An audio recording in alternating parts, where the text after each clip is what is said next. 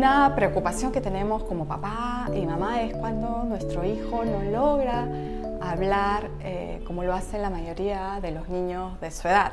Muchas veces el entorno, más que ayudarnos, termina generándonos más preocupación porque nos hacen sentir que nuestro hijo tiene algún problema. Y si cerca tenemos un niño que tiene la misma edad, los adultos suelen hacer comparaciones. Y algunos incluso hasta llegan a decirnos, eh, pero ¿por qué no lo llevas mejor a terapia de lenguaje?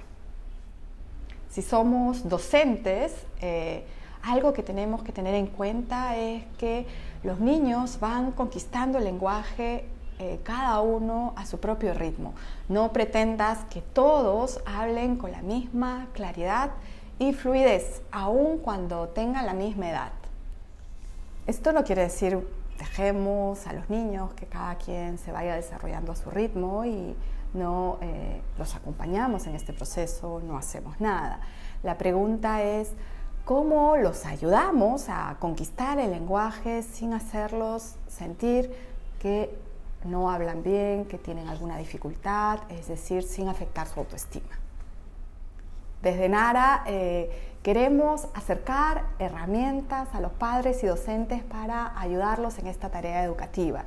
Y hemos creado este taller para compartir con ustedes información teórica que les ayude a comprender mejor todo este proceso de desarrollo del lenguaje para poder acompañar a los niños en su conquista.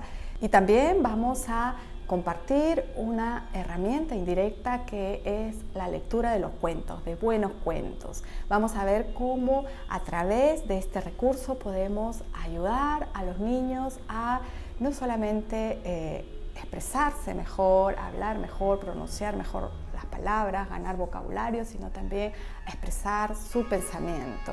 Y todas estas herramientas que, vamos a ir trabajando las vamos a aplicar con el cuento cuac, cuac, cuac, a los patitos les gusta nadar. Así que los esperamos.